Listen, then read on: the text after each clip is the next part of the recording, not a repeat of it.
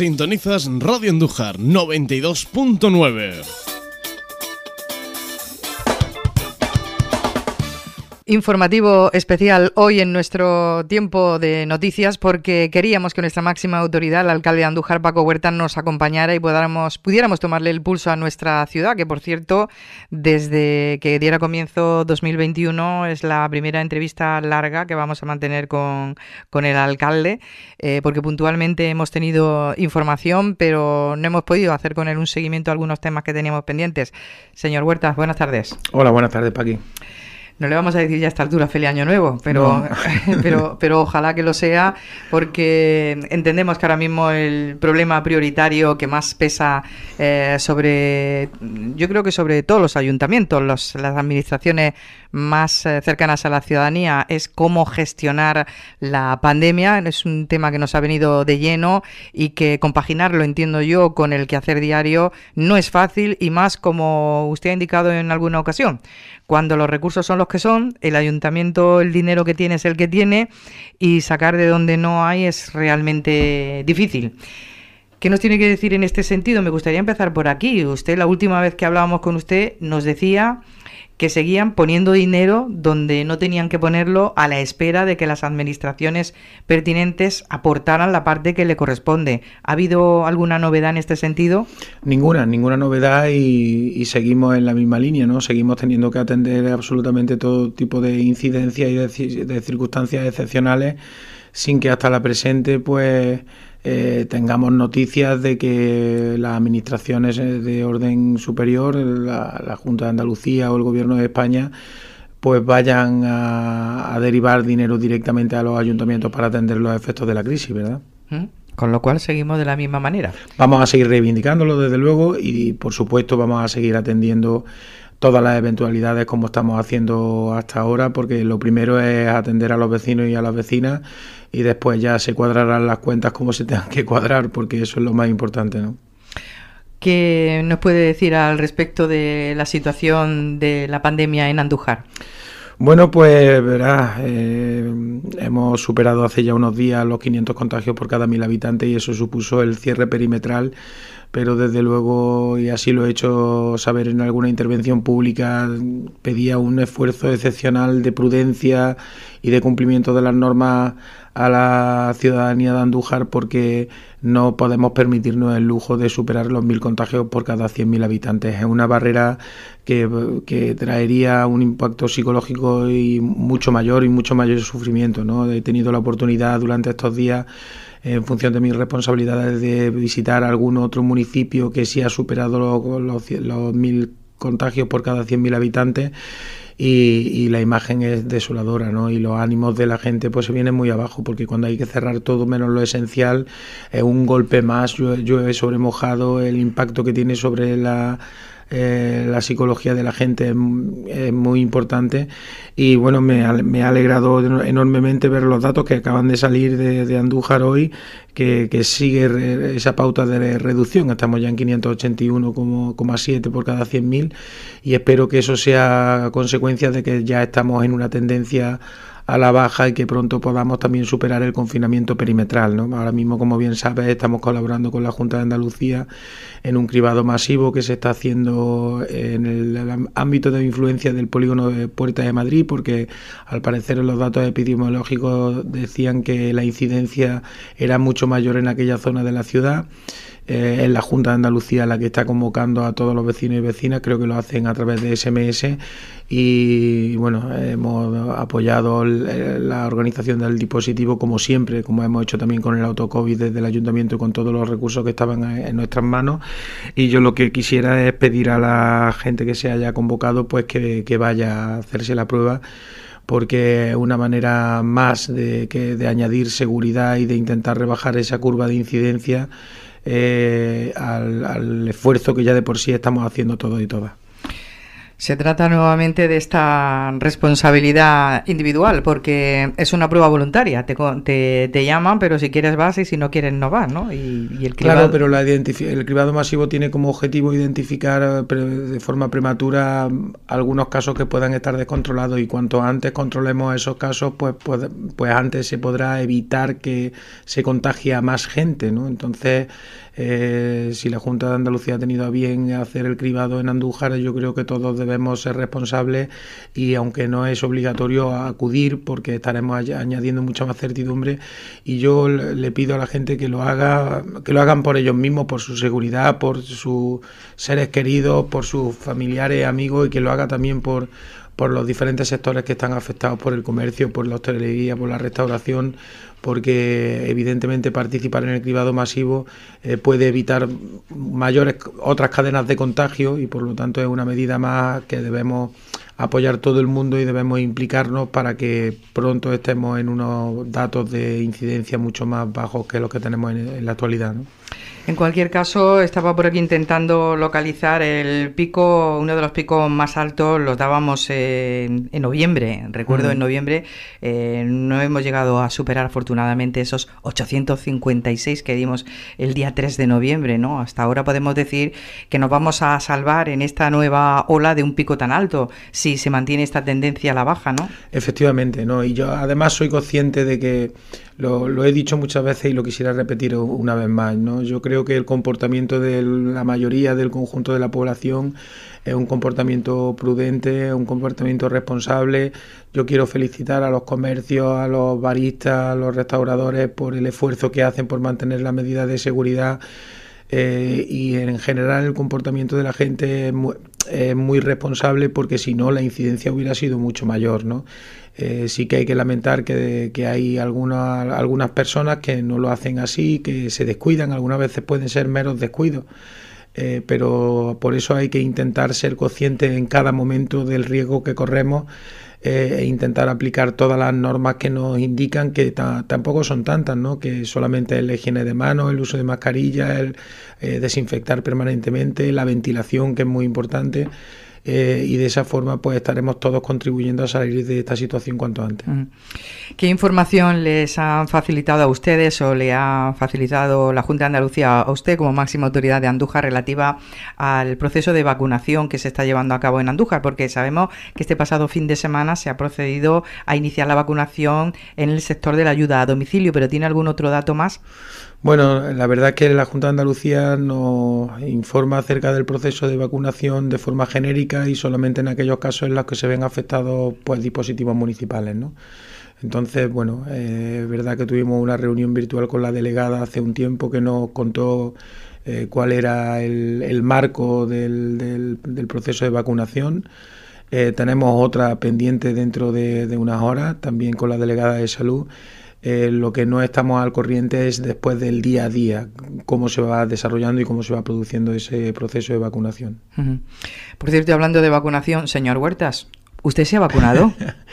no, no, no me he vacunado, ni como dice un, un WhatsApp que ha estado circulando por ahí durante el fin de semana este, no el anterior, ni, ni yo me he vacunado, ni parte de mi familia no ha llegado ninguna remesa al ayuntamiento, es que no ha llegado ninguna remesa de vacunas al ayuntamiento porque es que a los ayuntamientos no están llegando remesas de vacunas, ¿no? Ni tampoco lo han hecho mis compañeros y compañeras del equipo de gobierno, a excepción hecha de alguna concejala que por su situación laboral, porque es enfermera, porque es personal sanitario, pues estaba dentro del protocolo. Pero bueno, no, la verdad es que no consigo entender qué finalidad tiene difundir ese tipo de mensajes eh, que lo único que hacen es eh, pues generar incertidumbre y cabrear muchísimo a la gente, ¿no? Porque todos nos cabreamos cuando vemos como eh, otras personas que tienen responsabilidades de otra, de una u otra índole, pues se saltan los protocolos y, eh, con un ejercicio extremo de, egoísmo hacen que todo el mundo se enfade, ¿no? Y no, no sé quién estará detrás de la difusión de este tipo de mensajes, pero la verdad es que es mezquino y, y lo único que contribuye es a alterarnos más en una situación de fatiga pandémica que ya arrastramos todos, porque tenemos todos ya un cansancio y un agotamiento de, la, de la, pandemia y este tipo de, de, argucias que no sé qué sentido tienen, lo único que vienen es aumentar la ansiedad de la gente. A cabrear un poco. En cualquier caso, quien tiene dos dedos de luce, como decían antiguamente, cuando se lee ese mensaje y se habla de, de la remesa que ha recibido el ayuntamiento, quien está un poco al día sabe que los ayuntamientos no reciben vacunas, ¿no? Y ya podría dar lugar a, cuando menos, poner en cuarentena este tipo de, de mensajes. En definitiva, que no se ha puesto la vacuna. Me vacunaré cuando toque. Afortunadamente, hasta ahora no, no, ni, he pasado, ni tengo el virus ni lo he pasado, que, eso es una buena noticia, a pesar de que, bueno, pues tengo que reunirme a diario con muchísima gente y tengo que viajar también de vez en cuando y, bueno, todo eso supone exposición a tener mayor riesgo, ¿no? Desde luego que si uno está en su casa, ¿no? Pero, pero no me vacunaré cuando, cuando toque, como lo hará el resto de mi familia. Eh, cuénteme, porque es eh, de, mucha actualidad que recientemente ha presentado usted a los medios de comunicación, por supuesto al ayuntamiento, eh, una remodelación en el, en el equipo de, gobierno. ¿A qué, ¿A qué responde esta remodelación? Bueno, pues es una remodelación que ya teníamos prevista hace un tiempo y que se ha retrasado también por, por los efectos de, de la gestión de la, de la pandemia, ¿no? Eh, al inicio del mandato, además, verán que, todo tiene sentido conforme lo vaya explicando. Al inicio del mandato hubo un momento en el que eh, en vez de dos socios de gobierno pudimos ser tres, ¿no? Y eh, durante un tiempo pues mantuvimos un área que era la de cultura, pues a expensas de que se pudiera producir otra reconfiguración de gobierno, ¿no? Eh, eso estaba ahí ¿no? y también eh, hemos ido eh, analizando la gestión que se ha hecho desde el área de comercio. El área de comercio, como fue también un acuerdo del pacto de gobierno, se separó de promoción, formación y, comercio, que era en, en, el anterior mandato, y se quedó como una única área, una única área que no tenía tampoco una dotación de técnicos especialmente importante, solo tenía un técnico que además está compartido con agricultura y conforme fue evolucionando el tiempo y más teniendo en cuenta las circunstancias tan excepcionales que estábamos viviendo, vimos que eh, era conveniente volver a, ubicar comercio dentro de promoción y formación, porque así el conjunto del personal técnico y administrativo que tenemos en promoción y formación también puede cubrir con mayores garantías las necesidades y los requerimientos del sector comercial de nuestra ciudad, que es un sector muy vivo, que es un sector que está organizado, al que tengo que agradecer el trabajo y el esfuerzo que hacen a diario y con el que se trabaja de forma permanente en la mesa del comercio. ¿no? Entonces, por una parte, queríamos reforzar, eh, uniendo las dos áreas con equipos técnicos y administrativos, el, área de comercio y por otra parte también hemos querido que la misma persona que se encargue de la dirección estratégica, que es eh, Pedro Luis Rodríguez, y de la gestión del EDUSI pudiera tener también en sus manos el área de promoción, formación y comercio, porque son eh, dos áreas que tienen muchas cosas en común y que los técnicos también pueden trabajar de forma conjunta. ¿no? Entonces, por ese motivo eh, fue por el que reestructuramos las carteras y Juan Francisco Cazalilla se ha hecho cargo del área de cultura. Eh, Pedro Luis Rodríguez eh, se ha hecho cargo del área de promoción, formación y comercio y también dirección estratégica en la gestión del EDUSI, por lo tanto concentramos todas las responsabilidades en una persona que tiene que ver con el desarrollo de la ciudad. Y, después pues claro no puede alguien no puede llevarlo todo no y eh, yo creo que Pedro Luis Rodríguez ha hecho un trabajo absolutamente extraordinario en el área económica eh, solamente voy a hacer alusión a, algunos datos, ¿no? Veníamos de, una situación prácticamente de intervención del ayuntamiento por parte del ministerio a raíz de que en el año 2011-12 eh, se pidieron dos préstamos, del plan de pago a proveedores. Eso ha condicionado la, gestión económica del ayuntamiento muchísimo y evidentemente además de seguir prestando servicios y realizando inversiones, pues llevamos cinco años haciendo un ejercicio de saneamiento muy importante de las cuentas municipales, ¿no?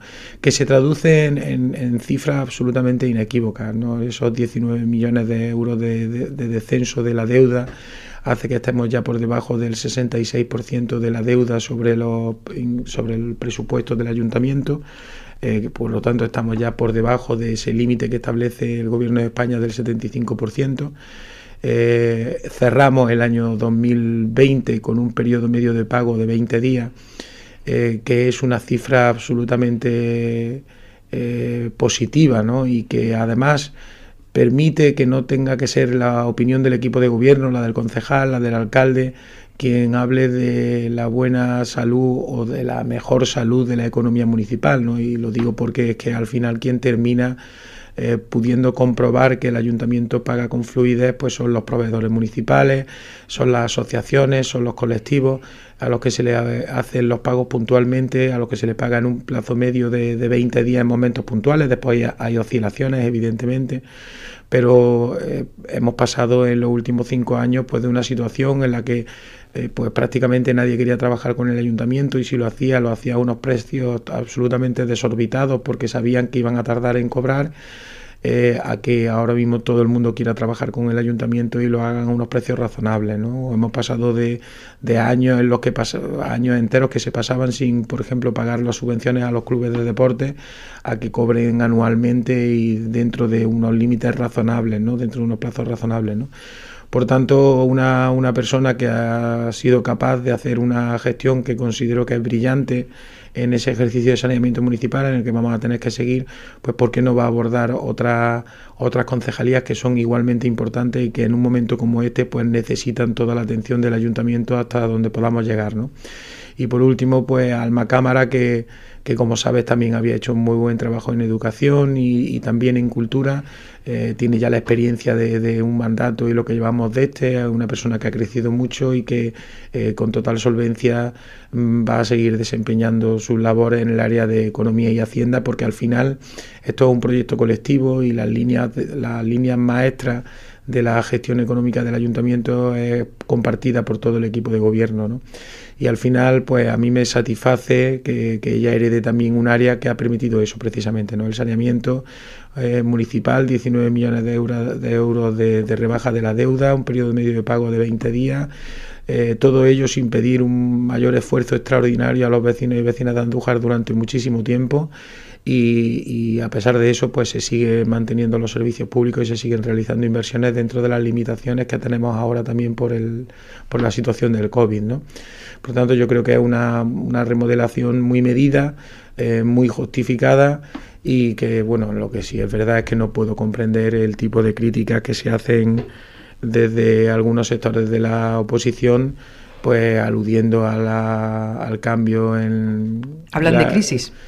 Sí, sí, bueno, de algunas cosas que yo no sé de dónde las sacan, porque hablan de crisis, de malas relaciones en el equipo de gobierno, hablan de, bueno, descalifican, no, no entiendo realmente esa forma de hacer política, porque, verdad, lo más sensato y lo más razonable, y yo creo que lo que hubiera pasado casi en cualquier lugar, es que la oposición hubiera dicho, bueno, pues la responsabilidad de hacer los cambios eres tú, vamos a ver cómo esto funciona, ¿no? Y no poner el parche antes que la herida y aprovechar cualquier oportunidad eh, para descalificar a los concejales y concejalas que han cambiado sus carteras y además, como digo, con mentiras, ¿no? O sea, la verdad es que hablar de mala gestión económica municipal o de que vamos a tener tensiones de tesorería eh, en breve, como asustando a la gente. ¿no? La verdad es que la, línea de la gestión económica está muy consolidada. Eh, tenemos instrumentos y somos previsores, sabemos en qué momento van a llegar los momentos de las tensiones de liquidez y, estamos preparados para ello. Por lo tanto, yo creo que eh, unas declaraciones de ese tipo solamente pueden ser por desconocimiento o por mala fe y desde luego por desconocimiento no es, ¿no? porque también escuchaba una alusión que me hacía reír, ¿no?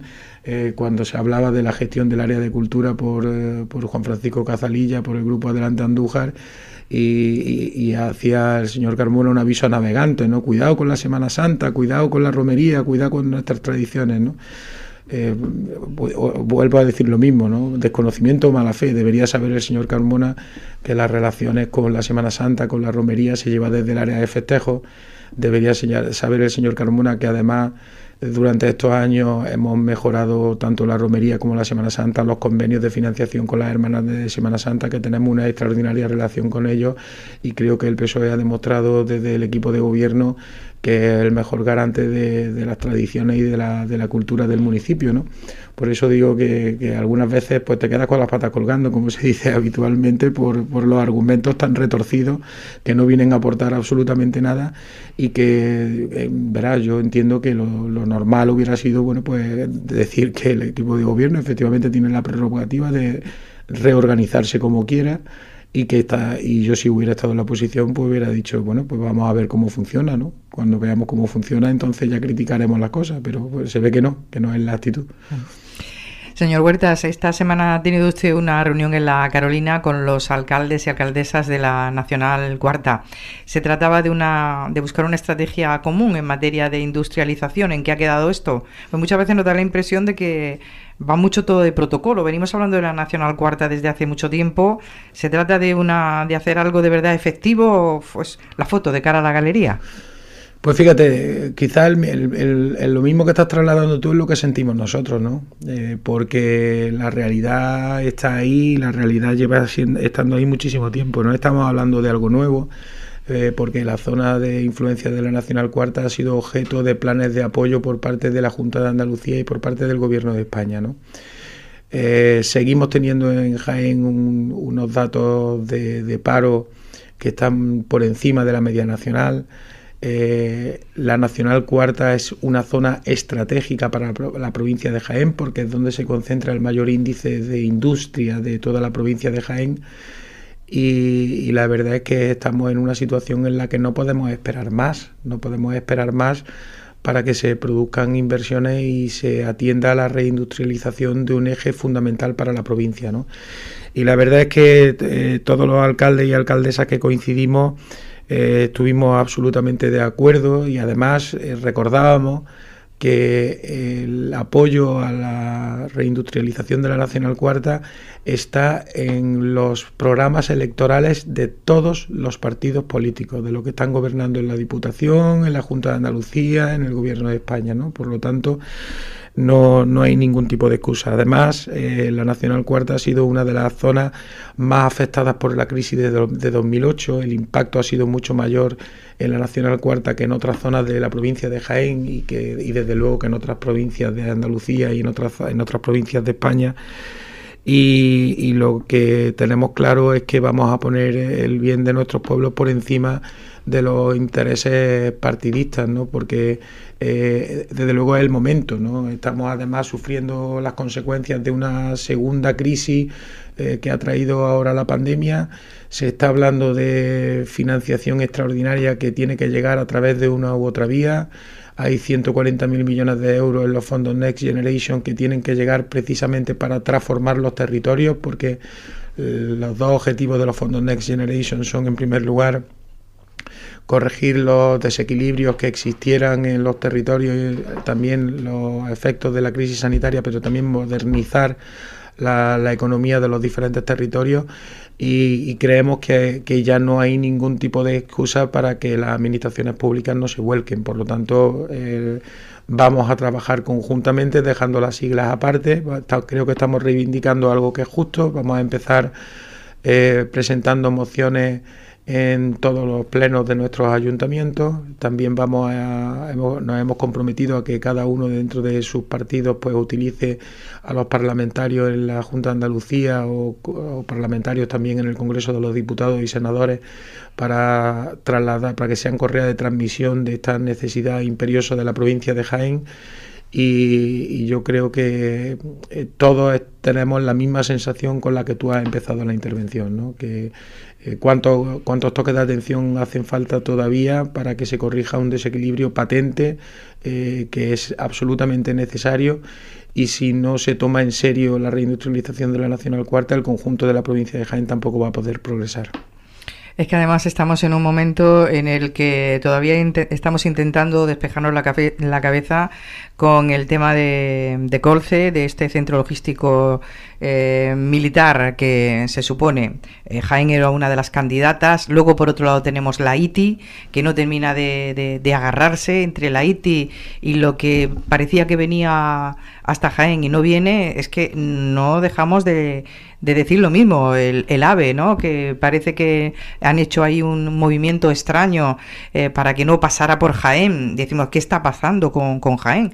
Eh, y estamos viendo que la sociedad civil se está ya movilizando, ya ha llegado el momento de dar el porrazo en, en la mesa y decir, ahora le toca a Jaén, ya le toca a Jaén, ¿no?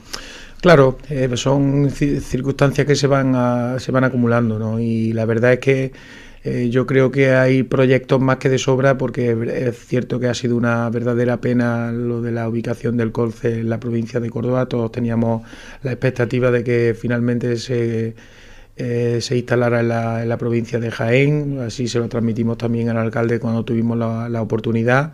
Espero que de, de, alguna forma también pueda tener algún impacto en la ciudad el hecho de que esté en la ciudad de Córdoba porque son muchos empleos y nosotros estamos relativamente cerca pero yo creo, yo, yo no, no, me gusta instalarme en el lamento, lo que sí hay que hacer es, eh, como tú bien dices, eh, trabajar en todas las líneas que ahora mismo tenemos abiertas, ¿no? La, la ITI de Jaén, por parte de la Junta de Andalucía, pues ha habido una avanzadilla de proyectos donde primero estaba el Hospital Viejo de Andújar y la 311, parece que al final el Hospital Viejo se ha financiado con gasto ordinario de la Junta de Andalucía.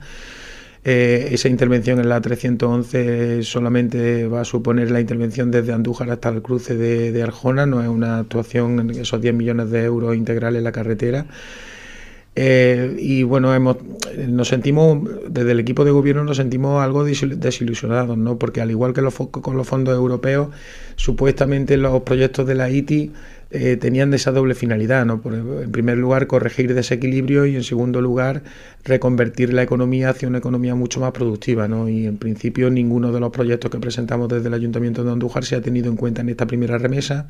Nosotros vamos a seguir insistiendo en que proyectos importantes y relevantes para la transformación de nuestra ciudad eh, son los que les trasladamos, pues estoy hablando, por ejemplo, de, de la ribera del Guadalquivir, de, de, las actuaciones para evitar las inundaciones, estamos hablando del polígono de Llanos del Sotillo, estamos hablando de los planes de dinamización del parque, hablamos de una inversión que aunque no es pública, es fundamental para nuestro territorio, como la modernización del, de la comunidad de riego del, del Rumblar, y eh, vamos a esperar a ver si en la segunda remesa de fondos de la Junta o en los que tengan que llegar del Gobierno de España se pueden encajar algunos de estos proyectos, ¿no? Pero también estamos a la expectativa de, de, si va a haber reparto por parte del Gobierno de España o a través de las comunidades europeas de los fondos europeos, que algo también tendrá que llegar a los ayuntamientos, porque proyectos estratégicos y que realmente transformen el territorio, eh, tenemos mucho en Andújar pendientes de financiación. ¿no? Y yo creo que este, esta situación que se ha dado con el Colce, pues lo que debe provocar es precisamente eso, ¿no? Eh, nos tiene que animar a trabajar más, a trabajar más duro, a trabajar unidos.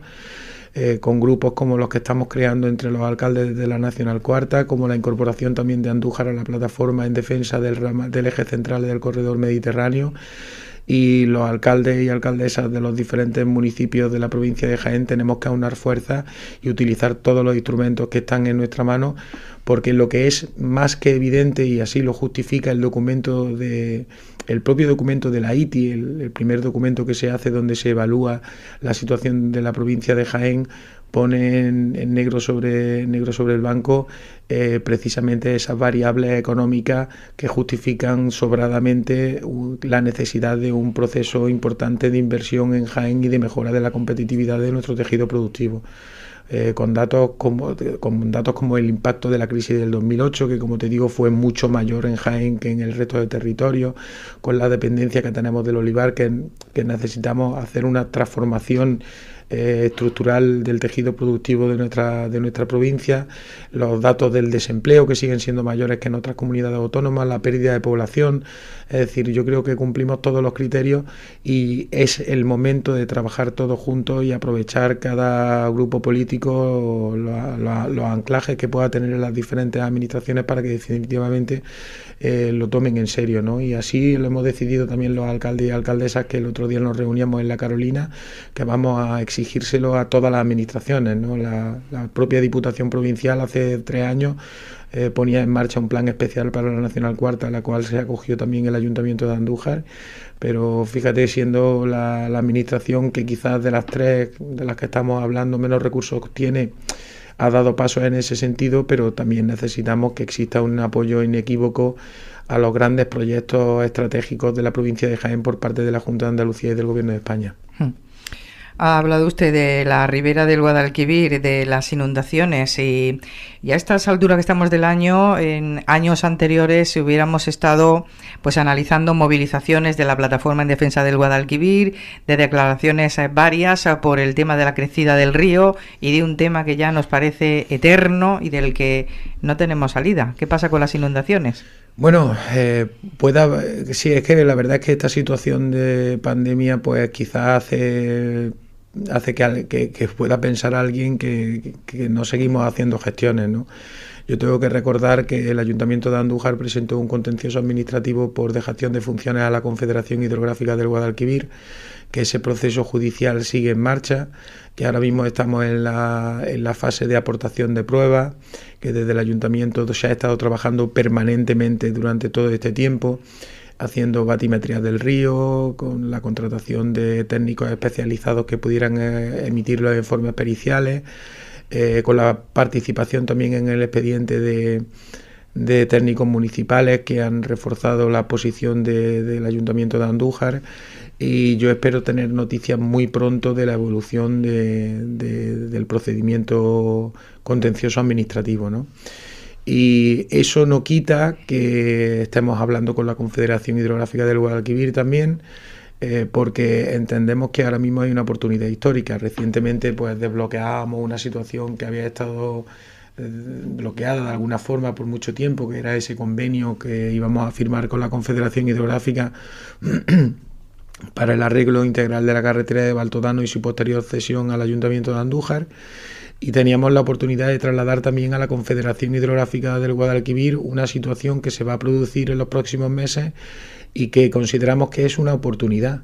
Eh, la cantidad de dinero europeo que va a venir a España en los próximos meses a consecuencia de la pandemia eh, es una oportunidad histórica para que de una vez por todas abordemos la situación del río Guadalquivir de una forma integral porque se lo trasladaba al comisario de agua hace unos días en una conversación telefónica, siempre hemos tenido la misma dinámica. Aquí se han hecho, ha, habido inundaciones, se han hecho proyectos, proyectos millonarios, después se han hecho partes de esos proyectos y cuando ha habido otra inundación hemos echado para atrás el resto de proyectos que ya no servían y nunca ha estado todo el dinero disponible para hacer las actuaciones a tiempo. ¿no? Entonces, posiblemente la única posibilidad que tengamos para abordar eh, el problema de las inundaciones de una manera integral puedan ser estos fondos. Así se lo trasladaba al comisario de agua porque sé que los organismos intermedios del, Estado van a disponer de financiación específica que, y pueden conveniar con los ayuntamientos, incluso declarar las actuaciones de interés general para que pueda ser la Confederación quien los aborde. ¿no? Entonces estamos trabajando en una doble línea. Por una parte, seguimos manteniendo contacto permanente con la Confederación. Soy consciente de que la Confederación sigue, sigue estudiando una solución definitiva. Sé que están actualizando datos, han hecho recientemente también una batimetría. Eh, como alcalde tengo que decir que todo llega tarde. Todo llega tarde. Ya hace mucho tiempo que llegamos tarde a este problema y que evidentemente ya hemos llegado hasta el límite de nuestras posibilidades, que es exigir responsabilidades en los juzgados. Y espero que además el resultado de ese procedimiento judicial nos dé la razón y obligue a quienes tienen la responsabilidad a invertir, pero al margen de eso, pues seguimos hablando con la Confederación y seguimos apuntándoles nuevas maneras de solucionarlo, porque la verdad es que me gustaría ver algún día en el que no solamente no tuviéramos que mirar con miedo al río, sino que fuéramos capaces de hacer un gran proyecto de integración de la ribera del Guadalquivir en nuestro municipio, que además solventaría otros muchos problemas de desarrollo urbanístico que están condicionados por las inundaciones y que están coartando el desarrollo industrial de Andújar. Nos va a costar creer que encontremos una solución ahí definitiva después de, lo que vivimos en torno a aquel famoso informe del CEDEX, con aquella famosa maqueta de 500.000 euros y con tanto dinero como se expuso para aquel informe que quedó en nada.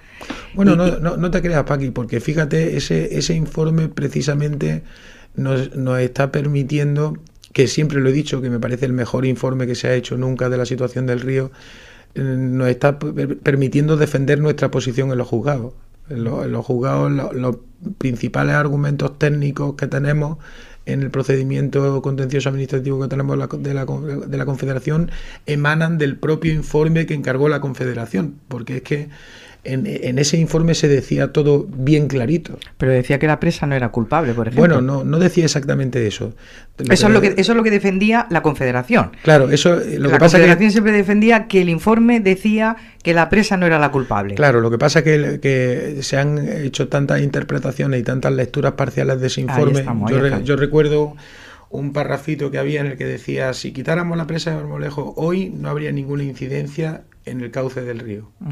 Y ponía punto y seguido. Y si seguías leyendo decía, con el tiempo el río recuperaría su fisonomía original que y, serían innecesarias las medidas de protección.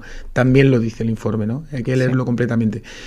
En cualquier caso, lo que dice el informe de forma inequívoca, y lo dijo ya en 2014, es que estamos en 2020, han pasado seis años. ¿eh? Mm. Lo que decía en 2014 es que para que tuviéramos una situación de seguridad tenían que producirse varias cuestiones. Tenía que regularse de otra forma el régimen de funcionamiento de las compuertas de la presa, que me consta que la Confederación se la ha comunicado a Endesa tenía que mantenerse el lecho del río en la misma altura que el 2014, cosa que ya no se ha producido. Es decir, se tenía que haber estado dragando el río desde 2014 de forma anual. Y además había que hacer una inversión en construir nuevas motas y reforzar motas existentes por un importe aproximado de 6 millones de euros. Eso lo decía la Confederación con el informe en la mano hace seis años.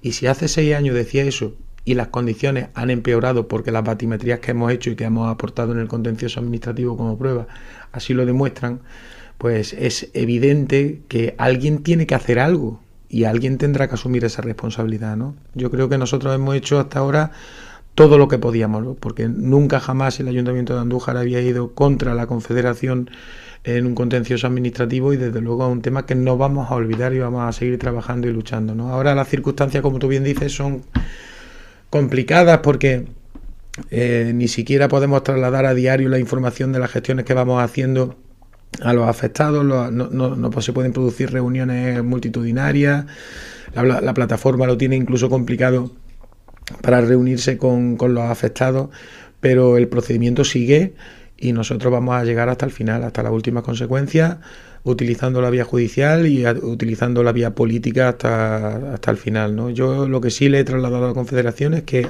tenemos una oportunidad. Ahora tenemos una oportunidad porque dentro del plan estatal España puede eh, se contemplan ese tipo de inversiones. Es decir, que son inversiones que se podrían dotar de dinero y podríamos tener una oportunidad para resolver el problema de una vez por todas. Por cierto que como algo anecdótico, hace muy poquito, un par de días, veíamos, eh, no recuerdo muy bien qué zona es, pero es una manga en, en, España que está totalmente destrozada por el mar porque le falta tierra, le falta lodo, la ha arrastrado el mar, se ha quedado sin arena y aquí toda la que nos sobra la podríamos reciclar porque aquí es sacar, poner en los laterales como yo digo y luego eh, viene la escorrentía y la vuelve otra vez al cauce del río y estamos en un sin vivir. Y lo que nos sobra por un sitio le está faltando hasta, el, propio Guadalquivir, ¿eh? en la desembocadura. yo recuerdo, yo recuerdo algunos de los estudios que, he leído, porque hemos leído muchísima información acerca de este tema, que ya imagínate los años que llevamos con él, ¿no? Que precisamente en el delta del, del río, en Sanlúcar de, de, Barrameda, eh, pues había estudios biológicos que, que ponían entre juicio, bueno, que ponían sobre la, sobre la mesa que había especies que estaban desapareciendo porque el contenido del lodo que llegaba al delta del Guadalquivir no era lo suficientemente rico como para mantener las especies. Y probablemente la solución de ese problema esté en, Andújar y en tantos otros sitios. Efectivamente, eso es lo que yo también había, había escuchado de la desembocadura de, del Guadalquivir. Alcalde, estamos fuera de tiempo. Ilusionenos un poquito con la EDUSI, ¿cómo va? Bueno, yo creo que la EDUSI va a seguir va a seguir funcionando este año, hombre. Además, este año tenemos proyectos que tenemos muchísimas ganas de comenzar, porque la verdad es que han sido muy difíciles de parir, ¿no? Y, este año tiene que ser el año de la licitación del, Palacio de Lecijano como Museo de la Romería. Eh, tiene que ser por fin el año que actuemos en el cerramiento del pabellón ferial. Eh, acabamos de licitar una parte también interesante que, es una la parte de Smart Mobility que va a permitir señalizar el acceso a todos los aparcamientos públicos y privados desde la entrada de Andújar utilizando las nuevas tecnologías y que eso también va a contribuir a, a, mejorar la circulación del tráfico y fundamentalmente el acceso a los aparcamientos. Eh, la Plaza Augusto también está contemplada empezarla este año. Lo que pasa que, como sabes, también vamos a hacer la segunda fase de la calle Cristo Rey y no queremos que se junten las obras del parque y las de la calle a la vez porque eso generaría problemas en, el vecindario, pero también la tenemos pendiente. Eh, la línea 9 se sigue desarrollando y este año tendremos que poner en marcha también ese programa que le permitirá a los propios alumnos que han recibido formación poder hacer eh, una especie de prácticas con actuaciones en su propio entorno. O sea que la, línea de UCI sigue. Ayer mismo teníamos una reunión con técnicos del. La, semana pasada, el jueves, teníamos una reunión con técnicos del Ministerio eh, trasladándole que bueno, que nosotros corremos más de lo que corre el ministerio, ¿no? Porque todavía no hemos recibido ni un duro y es cierto que llevan muchísimo retraso en la gestión de los expedientes que nosotros aprobamos y que ejecutamos.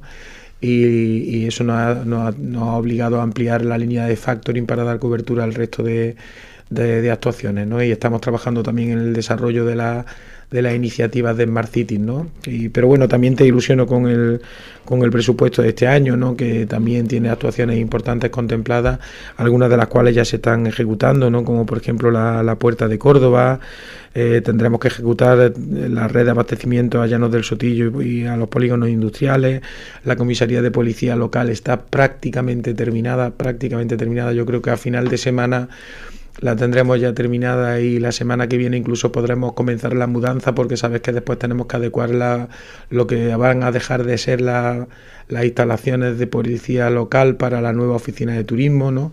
que es una actuación que vamos a llevar a cabo también en el, en el, en el Ayuntamiento de Andújar. Eh, también tenemos ganas de, que pronto podamos licitar eh, la renovación del suelo del pabellón de deportes, porque ya había llegado a un extremo que, no se podía aguantar más y lo vamos a hacer con los planes provinciales del, del año 2021 y bueno, y hay muchas más inversiones que se van a realizar, nos vamos a mejorar la sede de protección civil, que bien lo necesitan. Y es que de verdad es algo casi obligado por el trabajo que llevan haciendo los voluntarios desde el primer día de la pandemia, ni un solo día de descanso, ni un solo día de descanso desde que empezó la pandemia. ¿eh? Todos los días con dispositivos de protección civil que han hecho absolutamente de todo, repartir mascarillas, atender a personas mayores, hacerle comprar a la gente. Eh, es increíble el esfuerzo que han hecho y vamos a mejorar su, su sede y después otras calles que llevaban tiempo, por ejemplo, me la calle El Truco y la calle Valenciana, que están dentro de la estrategia de peatonalización del, casco histórico que estamos terminando de, ultimar, con modificaciones en la zona azul, con algunas cuestiones relacionadas con aparcamientos y que podrán cambiar la configuración del, del tráfico en Andújar, ¿no? Eh, estamos viendo cómo el 90% del tráfico que pasa por la Plaza de España lo hace para transitar de una parte de la ciudad a otra, ¿no? De la corredera Capuchino a la corredera San Bartolomé, ¿no? Y si sacamos ese tráfico por fuera, pues lo que queda es un tráfico residual y eso nos permitiría ganar un centro con un potencial comercial muchísimo mayor además de algunas actuaciones que evidentemente ya tenemos en la cabeza, como la posible intervención en la Plaza de España, en la Plaza de la Autonomía, que, estamos viendo, estamos buscando la financiación adecuada, pero que podría cambiar la, la, fisonomía de nuestro casco histórico, ¿no? O por ejemplo calles que llevaban muchísimo tiempo sin, actuarse en ellas, ¿no? como las calles paralelas en la lagunilla la calle Celedonio Cózar, que están en muy malas condiciones y que vamos a utilizar, que vamos a, actuar ya de, de inmediato el, centro de interpretación del lince que estará terminado este año, el agua potable al santuario que ya está terminada. Es decir, que proyectos quedan muchísimos en cartera y vamos a seguir trabajando para generar otro y para atender otras necesidades que también somos conscientes que existen en Andújar.